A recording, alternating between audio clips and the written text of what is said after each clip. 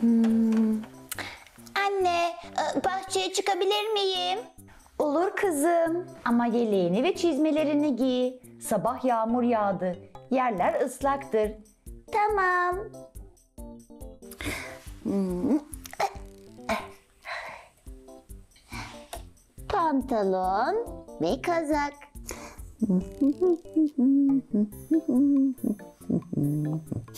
İşte oldu. Şimdi çizmelerimi giyeceğim.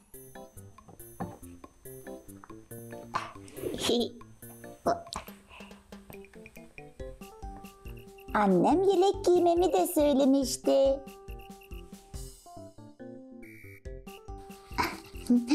Bu yağmurluk yağmur yağmıyor. Buna gerek yok. Yeleğim işte burada.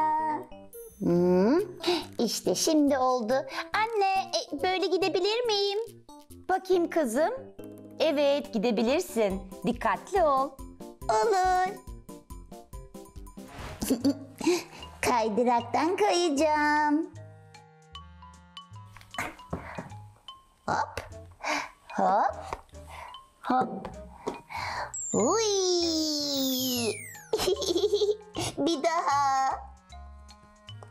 Hop. Arkadaşlar siz de hep hava şartlarına uygun giyinin ki hasta olmayın. Görüşürüz. Uy.